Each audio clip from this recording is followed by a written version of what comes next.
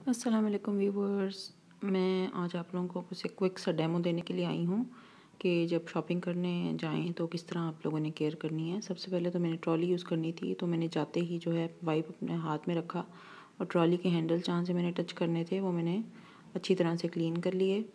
और कोशिश करनी है मार्केट में कि आप ज़्यादा चीज़ों को हाथ ना लगाएँ, बस उसी चीज़ को हाथ लगाएँ जिसको आपने लेके आना है मार्केट में।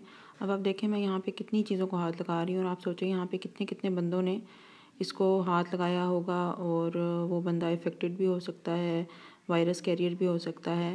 तो खैर शॉपिंग तो आप कर लेंगे, कोशिश करें ज़्यादा चीज़ों को हाथ टच ना करें, सिर्फ़ वहीं जाएँ जहाँ पे आपने जो चीज़ आपने लेनी है, सिर्फ़ उसी को आपने टच करना है, ठीक है? और जस्ट बस अपना काम करें और मार्केट से निकल जाएँ, ज़्यादा टाइम मार्केट में ना लगाएँ। और बस यहाँ पे आप देखें मैंने जस्ट जो जो चीज़ें मुझे चाहिए थी सिर्फ़ मैं वहीं गई और मैंने उनको लिया। और फिर आ, आ, मैंने चेकआउट कर लिया। तो अब आप देखें इस पू, पूरे सिनेरियो में मैं मैंने कितनी अब देखें अब मैंने फॉर एग्ज़ाम्पल मैंने कितनी चीज़ों को टच किया होगा तो सबसे पहले मैंने क्या किया कि डिसइनफेक्टेंट लिया और ये एक डिस्पोजेबल जो है उसका रोल है। वाइप्स हैं। बस इससे मैंने डिसइनफेक्टर स्प्रे करके बस उससे मैंने गाड़ी के सारे हैंडल्स जिनको मैंने टच किया था, सबको मैंने डिसइनफेक्ट कर लिया। और चीज़ें आप रख लेंगे वैसे ही। और फिर आपने क्या करना है, क्योंकि चाबी भी मेरे हाथ में थी तो पहले मैंने अपने हाथ सैनिटाइज़ किए, उसके बाद चाबी को भी मैंने जो है क्लीन कर लिया, उसी डिसइनफेक्टेंट का स्प्रे करके।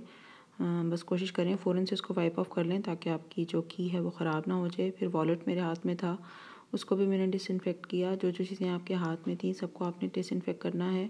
अब गाड़ी की जिस जिस चीज़ को आपने हाथ लगाना है, सबको आप डिसइनफेक्ट कर लें। स्टेयरिंग को गेयर को क्लच को एवरीथिंग और फिर एक शॉपर अपने पास रखें और उसके अंदर ये डाल दें और इसको आपने बिन में डिस्पोज ऑफ़ करना है। फिर घर आके जो पेरिशेबल इंग्रेडिएंट्स हैं, उनको भी मैंने निकाल के वाइप अप करके फ्रिज में रख दिया, क्योंकि इनको बाहर रखूँगी तो ख़राब हो जाएँगे।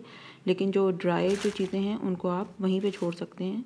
और नेक्स्ट डे फिर ट्वेंटी फोर आवर्स जब गुजर जाएँ तो फिर आप उनको अपनी अपनी जगह पर रख दें। बेहतर तो यही है कि गाड़ी में ही पड़े रहें, अगर उसी टाइम ज़रूरत नहीं है तो वरना फिर आप घर ला के एक जगह पे कहीं पे रख दें, जहाँ पे कोई बंदा टच ना कर सके। यहाँ तो ज़्यादा कार्ड्स यूज़ होते हैं लेकिन पाकिस्तान में करेंसी यूज़ होती है तो जो करेंसी आप एक्सचेंज करेंगे जो आप वापस लाएँगे उसको भी आपने डिसइनफेक्ट करना होगा। और एक जगह पे मैंने कैट से शॉपिंग की थी तो मैंने अपनी करेंसी भी डिसइनफेक्ट की थी।